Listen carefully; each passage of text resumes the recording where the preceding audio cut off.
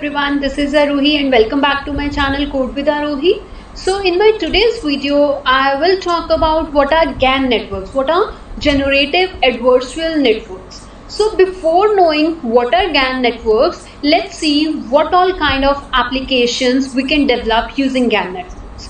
So one of the example is photos to emojis. Let's suppose if you want to you have a photos and you want to convert those photos into a emojis that thing if you want to do that task that we can do with the help of GAN network. So in this example image only you can see this is the human face and this is what we are getting after cartoonify that image right? So if you want to perform this kind of task you can do it with the help of um, GAN network and after that I hope you all have heard about this FaceApp right? So FaceApp also uses GAN network for face editing options right? So more particularly they are using style GANs right? Or some similar mm, networks to uh, in their FaceApp application. So you can see this image over here. I've shown few uh, examples, and these are the face different face editing options we uh, have applied. So this is the real image, and this is what we get after applying one face editing option on it. This is the image without beard and this is what we get after applying that particular editing option on it. And this is like face aging. This is the most popular feature of that this face app right? This is the your, the current image of a person and this is after applying that aging um, option on it right? So uh, this kind of application if you want to develop you can use GAN networks and face aging I've already told you right? So and face de-aging also. So, so you can see this is the current image of the person and this is what person is getting after applying face de-aging on it. So we can using GAN networks for aging and for de-aging also. After that the very um, one of the very nice feature of uh, GAN network is uh, text to image translation. So in this image you can see this uh, the text over here. This is the text which we are giving to our network, right? This flower has a yellow petals along with green and yellow stem. So this is the text which we are giving to our network and this image is the output of that network. So text to image translation. This kind of task you can do with the help of GANs and after that photo editing photograph editing. So let's suppose this is the real image and on this image let's suppose you want to do some changes on this image. Let's say you want to change in hair color or the style and then even if you want to change the gender of that particular image. So that also we can uh, do with the help of GAN networks. And reconstruct photographs. Reconstruct photographs simply means you okay just consider this example. In this image we have you know we have just deleted this pixel. The this particular mask this particular region we have deleted this. And from this image also we have deleted some area and from this also and from this also. And now we can reconstruct. Reconstruct simply means we can pick the uh, uh, uh, features uh, from some other image and we can put it over here. So you can see in this image the no over here the nose area over here is different right? So in the same way if you see the lip area over here is different. So this is what face reconstruction is reconstructing images so this the GAN network also helps you know police or the authorities to identify criminals that might have gone through some you know sort of surgeries and to modify their appearances. So with the help of GAN network we can you know identify mm, uh, such people okay? And after that you can say okay so this is one image this is the real face and after applying GAN network on it these are the three fake faces we are getting right? So guys all those examples which i'm showing over here is i have collected those random examples from internet. So my main intent over here is to tell you what kind of applications you can get. So using this GAN network let's suppose if you'll give 100 faces to your network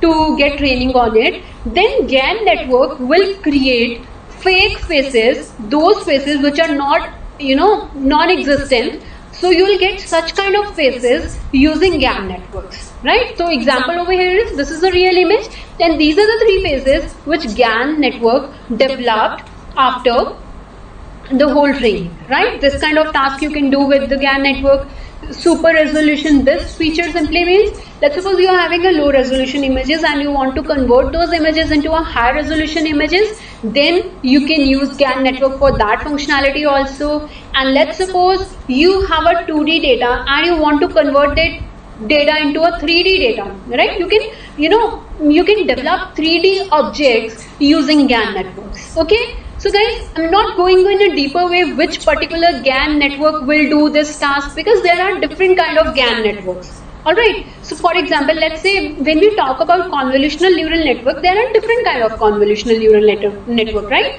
AlexNet, LeNet, VGGNet, ResNet, we have lots of um, convolutional neural networks.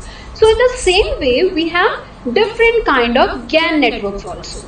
So right now collectively I'm telling you what kind of applications we can perform using GANs. In my next videos I'll tell you specifically which GAN network you can use for which particular functionality. Alright. So uh, let's go back to this uh, PPT again.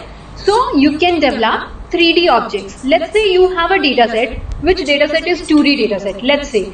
So you can convert that data with the mm, into a 3D 3D object, uh, 3D data uh, using GAN network. And after that, translating images. So over here you can say, let's suppose you're having images, satellite images, and you want to convert those satellite images into a Google map. You can do that with the help of GANs. And let's say, uh, say you have images, lots of images, which you have took in a daylight. Now you want to convert those images into a night night version. So you can do that with the help of GANs. And let's suppose you have black and white images and you want to convert those images into a colored images. That again you can do with the help of GANs. And you can change sketches into a colored photographs using GANs. So these kind of things we can do with the help of GAN networks. Again this is one more example. Over here you can see what we are doing is we are deraining this is the image with rain we are deraining this image and this is the output you will get after applying that deraining um, deraining. And again this is the image with rain and this is the output you get. You can do this kind of functionality with GANs. And let's say you have this image and there is one GAN network pix to pix GAN. On this input you can get this kind of output okay and yes um, this example I've took from this particular website actually rosebud.ai you can visit their site and you can see more about it. So what we are doing over here is these are these were the images. Now these images were converted into a you know we uh, they performed animation on it and now these images become you know live. So these kind of applications you can perform using GAN networks here I'll explain you what are GAN networks. So basically GANs are generative models. So generative model simply means means they generate new instances, right? So how I'll uh, I'll show you that how. So basically before moving to generative models, let me tell you like there are two type of models. One are generative models and the other ones are discriminative models. So discriminative models are models like in supervised learning. Let's suppose, let me give you one example. Let's suppose you want to know whether the person is diabetic or not on the basis of uh, some set of features like glucose, blood pressure, insulin. On the basis of these three features, you want to uh, you uh, you want to tell whether the you your task is to predict whether the person is diabetic or not. So we have given input features and we have a label whether the person is diabetic or not, not diabetic. So this is a classification model. So this classification model is a type of discriminative model. Okay. So um, i hope you are clear about discriminative model. Now the other one is generative model generative model simply means to generate new instances okay? So uh, now if we talk about GAN network so GAN network have two different module. One is generator and other one is discriminator right? So GAN have two parts generator and discriminator. The task of generator is to produce fake data okay and the task of discriminator is to uh, is to identify whether the data which discriminator is getting whether that is a fake data or a real data. Let me explain you with the picture and with a more detailed form. So what i've told you GAN contain GAN have two parts. One is generator other one is discriminator right? So we will start our task from here so this is a initially when we start training our GAN network initially we will have some random noise and this random noise we will give to generator. Now the task of generator is to uh, you know create fake data right? So generator will create some fake sample right from this random noise. Generator will uh, generate some uh, fake data that sample we have over here now. That fake sample will go to discriminator and we are giving one more input to discriminator. One is fake data which is uh, generated by generator and other is real data or real training data. Okay? So we are giving a real training data and the fake data to the discriminator. Now the task over here is task of discriminator is to classify whether the sample which is coming to this discriminator whether that sample is a fake sample or that sample belongs to the uh, real training data. Okay? And after that we will calculate the generator loss and the discriminator loss. Right? So basically what we are doing is giving random noise to generator. Generator will de um, develop a fake image that fake image and the real image will go to discriminator. Discriminator will try to find out which uh, data mm, sample is a fake sample and which data sample is a real sample and on the basis of which we are calculating generator loss and we are calculating the loss function for discriminator. Okay. So now let's discuss this in more detail. So over here let's see from here. Okay. Yeah here. So discriminator. So in my previous video this is what I've shown you. Now I'm discussing about discriminator only. Just see. Discriminator is getting two data. One is fake data one is real data. And discriminator is basically a classifier right? It will tell whether the image is real or fake. Okay? This is the task of discriminator. Real or fake. To classify whether the image is a real or a fake. Okay? So and this discriminator and generator both are neural networks. I'll show you practically in my next video how to write code for discriminator and how to write code for uh, generator. But right now just understand that discriminator and generator are two uh, neural networks. Okay. So and the discriminator act as a classifier and it will classify whether the image is a real image or a uh, fake image. And we are calculating then loss function. Okay? Now let's say this is the generated data right? This is the sample which discriminator is getting at initial stage. See when we whenever will uh, uh, whenever training begins in the very initial epoch what will happen? I'm telling you that will be a random you know in the very first epoch you can see over here in the very first epoch we are which data we are giving to our network to our generator? This random noise right in our initial epoch. So what will happen? Generator will easily know right this is the real data. Suppose this is the real data means our training data sample from our training data and this is the uh, generated data the fake sample which we got after applying generator on it right so over here discriminator can easily tell this is a fake data and this is a real data. Okay, because over here uh, this is a very initial epoch, right? So our discriminator can easily tell like this is a fake data and this is a real data.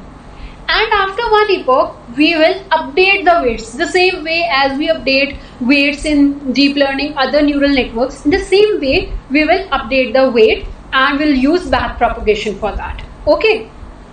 Now this is the output of first epoch, let's say. After that, let's say this is the output we get after 20 epochs. After running a model for 20 epochs, this is what our generator is giving. This is the fake data which we get from generator. And this is the real data. Now again discriminator can easily tell that this is a fake data and this is the real data. And after that we'll again update the weight and we'll again train our model right? Next epoch so let's say after 50 or 60 mm, uh, epochs this is the output this is the fake phase which generator is giving right? This is the fake data generated by a generator and this is the real data. Now over here discriminator is classifying this as a real and this obviously as a real. So uh, are you getting my point? What i'm trying to say okay let's see this picture. This at initial epoch we gave this image and after running few epochs this is the image which generator uh, generates. And this is the real uh, image. So this is the fake face created by generator and this is the real face from our data set.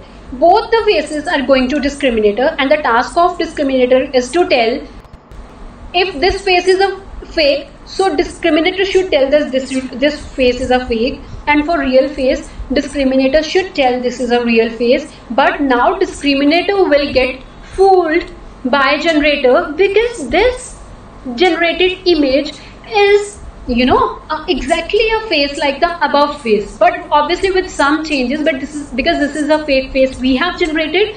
But now discriminator will get fooled by generator. Right so let's understand this. Let me uh, tell you what this uh, what is that uh, what is the main motive of generator and what is the main motive of discriminator with this example.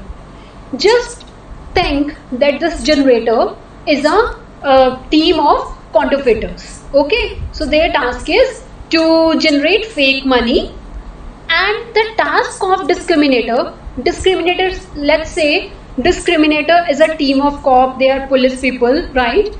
And the task of police people the task of discriminator is to uh, you know find out whether this is a fake money or a real money right? Now these counterfeiters will you know work hard try hard to make this fake sample fake money uh, like that so that the team of cops that this discriminator should not be able to recognize whether this is a fake sample a fake money or a real money.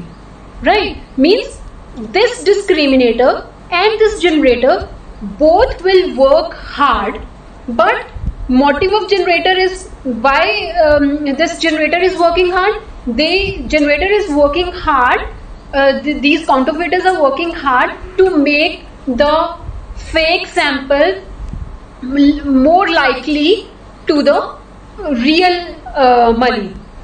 And the task of discriminator is to find out that this is a fake sample right? So both are working for different motive. They are working like uh, they are working hard to make this money uh, fake money make as more real and they are working hard to find out so that generator can't fool them out okay? So this is how um, this GAN network work so and I have told you like after every epoch discriminator and generator both will update the weights using back propagation and then they will work for the next epochs. Okay? So in conclusion see what we have studied what we have learned is in GAN network we have two main modules one is generator and one is discriminator. Generator will generate the fake sample. Discriminator will try to find out whether the sample which uh, discriminator is getting whether um, discriminator act as a classifier and it tries to find out whether that sample is a fake sample or a real sample. And we will um, update the weight for after every epoch. Generator is getting training to so that uh, generator we are uh, why we are training generator generator is getting training to generate fake samples which looks more similar or exactly similar to the real samples and discriminator is getting training to classify fake samples with more accuracy and real samples with more accuracy. So this is how it will work. So now in my next class, I'll show you the practical implementation of GAN network. I'll show you how to write a code for uh, generator, how to write a code for discriminator and how to run GAN network on MNIST dataset first of all and then using GAN network I'll show you how to we will use a dataset of faces and we'll try to generate fake faces from it right so guys I hope you like the video and guys if you like my video then please subscribe my channel and thank you for watching. Right? So today I'll show you the different loss functions for generator and discriminator. Right? So we initially started with this picture. Right? So this is the random noise for when we want to train our algorithm and in very initial epoch this will be the random noise and from this this random noise will go to generator. Generator will um, you know uh, uh, generate a fake image. So let's say in the very uh, first epoch when we give this random noise to generator generator generated this image. Means this this much. This white area simply means uh, this is um, a blank area right so in the way after first epoch this is the fake image which generator generated now obviously when you give this image to discriminator and this is a real sample over here discriminator can tell very easily that this is a fake image right so uh, after that when you uh, after that discriminator discriminator will tell us the classification error. Now, just assume this x is a real data means training data point. This x hat is uh, because I'm going to explain you the formula so I'm just telling you the x stands for the real data. X hat simply means the fake data which we will get after from this generator. Z is the random uh, noise. Okay? And okay. So this is the first epoch and after that it will uh, class it will give us classification error. And in second epoch see first epoch this this is the fake image. And in second epoch this is the fake image generated by generator. Now over here also mm, discriminator can will give us the classification error and on the basis of that classification error we will uh, update the weight of discriminator and we will update the weight of generator using backpropagation okay. So this now after few epochs so this is the image fake image generated by the generator. Again after that we will update the weights of discriminator and update the weight of generator uh, using backpropagation okay. And after let's say after 60 or 70 epochs this is the fake data generated by the generator and this is the real data. And again we are calculating the um, classification error and updating the weights. Okay. Now see classification. After calculating this classification error okay wait. After calculating this classification error what we are doing is we are updating the weight of discriminator and we are also updating the weight of generator. Now let me show you. After classification we are using back propagation to update the weights of generator. And what is the objective of this generator? The objective of generator is to maximize the discriminator classification error. Maximize? What to maximize? The discriminator classification. Its task is to maximize the classification error of discriminator. And the objective of discriminator is to minimize the classification error. Means discriminator task is to minimize this classification error. Generator task is to maximize the classification error. Now what i'm trying to say over here is see generator is creating the fake data. And generator wants to fool the generator uh, generator wants to fool the discriminator by uh, by you know saying like okay no this is not a fake data this is a real data. So what that means is generator wants to give fake data to discriminator and the objective of generator is to make that sample uh, as much as real it can so that discriminator was not able to classify uh, so that discriminator should classify it as a real sample. Means we are maximizing the discriminator loss and the task of discriminator is to find out that the the image which is coming from generator that uh, that image is a fake image. This is the objective of discriminator. So how we are how we are updating the weight for generator? We are updating the weight of generator in order to maximize the discriminator classification error. And we are updating the weight of uh, discriminator in order to minimize this classification error. So i hope you understand what we are doing over here. Means the classic uh, means the loss function of generator the loss function of generator uh, what is the uh, okay leave it. Just understand that generator will try to maximize this classification error and discriminator will try to minimize this classification error. Okay.